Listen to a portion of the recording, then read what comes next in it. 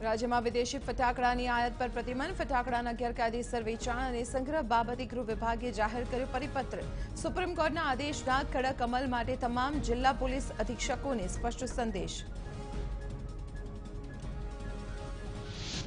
રાજ્યમાં હવે જાહેરમાં ફટાકડા ફોડવા પર પ્રતિબંધ મૂકવામાં આવ્યો નિયત મર્યાદામાં જ ફટાકડા ફોડી શકાશે જોકે ગૃહ વિભાગ દ્વારા કોવિડ દરમિયાન ફટાકડા ફોડવા કે નહીં તે અંગે સત્તાવાર હજુ નિર્ણય નથી લેવાયો રાજ્યના સરકારી વિભાગોમાં દિવાળી દરમિયાન સરકારી ખર્ચે ગ્રેટિંગ્સ કાર્ડ નહીં છપાય સરકારી ખર્ચમાં કરકસર કરવા રાજ્ય સરકારે બહાર પાડ્યો પરિપત્ર સરકારી તમામ વિભાગોને કરાઈ જાણ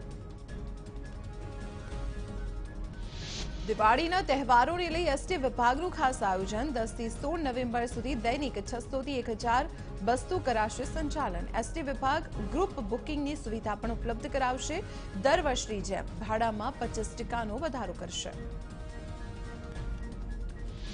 ભાજપ પ્રદેશ અધ્યક્ષ સી આર પાટીલે દિલ્હીમાં કેન્દ્રીય મોવડી મંડળ સાથે ગુજરાતમાં સંગઠનની જાહેરાત મુદ્દે કરી બેઠક ભાજપ અધ્યક્ષ જેપી નડ્ડા ભૂપેન્દ્ર યાદવ વી સતીશજી સાથે કરી બેઠક આઠ વિધાનસભા પરિણામો બાદ સંગઠનની થશે જાહેરાત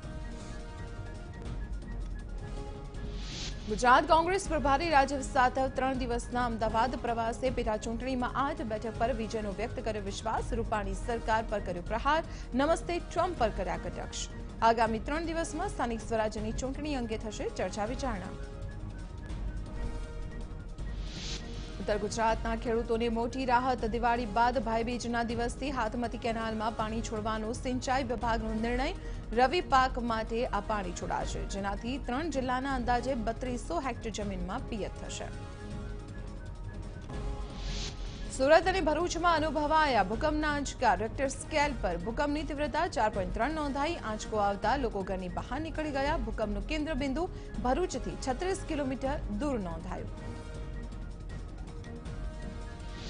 પંચમહાલના ગોધરા હાલોલ વિસ્તારમાં અનુભવાયો ભૂકંપનો આંચકો હાલોલ નગરમાં ત્રણ સેકન્ડ માટે ભૂકંપનો આંચકો અનુભવાયો લોકો પોતાના ઘર અને ઓફિસમાંથી બહાર દોડી આવ્યા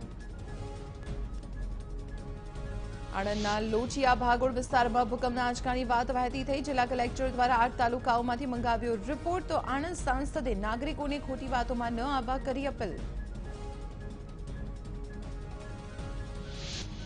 આવતીકાલે દાદરાનગર હવેલી અને દમણ દીવમાં સ્થાનિક સ્વરાજ્યની ચૂંટણીનું યોજાશે મતદાન ચૂંટણી પ્રક્રિયા શાંતિપૂર્ણ માહોલમાં થાય તે માટે પ્રદેશ પોલીસ દ્વારા ગોઠવાયો ચુસ્ત બંદોબસ્ત જેમાં ગુજરાત પોલીસ પણ કરાઈ તૈનાત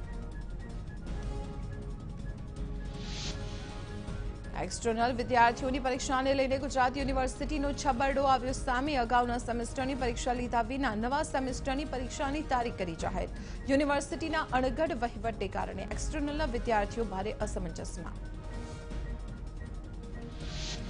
અમદાવાદે જેટીયુએ નવી શિક્ષણ નીતિનો શરૂ કર્યો અમલ જેટીયુની એકેડેમિક કાઉન્સિલની બેઠકમાં લેવાયો નિર્ણય ચાલુ વર્ષથી જ એમફિલના કોર્સ કર્યા બંધ નવી શિક્ષણ નીતિ હેઠળ school of applied science and technology શરૂ કરાશે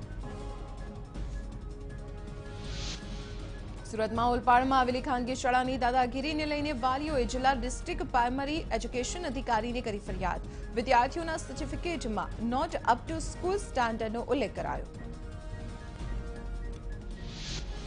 અમદાવાદમાં ગુજરાત યુનિવર્સિટી ખાતે એનએસયુઆઈ દ્વારા વિરોધ સેમેસ્ટર ત્રણ અને પાંચની પરીક્ષાના ફોર્મ ભરવા વિદ્યાર્થીઓની કોલેજ બોલાવતા હોવાનો આક્ષેપ ફોર્મ ભરવાની કામગીરી ઓનલાઈન કરવાની એનએસયુઆઈની માંગ રાજ્યના પ્રાથમિક શાળાના મુખ્ય શિક્ષકોની પડતર માંગણીઓને લઈ ઈડરના દરામલી ખાતે બેઠક પગાર ધોરણ બદલીના નિયમો અને એમઆરઆરની માંગ પ્રતિનિધિ મંડળ શિક્ષણ મંત્રી સાથે યોજશે બેઠક તે પછી પણ નિરાકરણ નહીં આવે તો ગાંધી ચિંધ્યા માર્ગે આંદોલનની કરી ચીમકી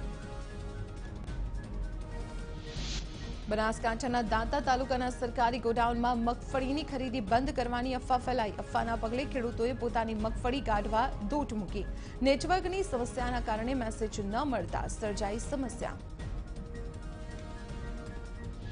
ધોરાજી માર્કેટ યાર્ડ બહાર મગફળી વેચવા આવેલા વાહનોની કતાર ટેકાના ભાવે મગફળી વેચવા ખેડૂતો ઉમટ્યા ધોરાજી ખાતે માર્કેટિંગ યાર્ડમાં મગફળીની પુષ્કળ આવક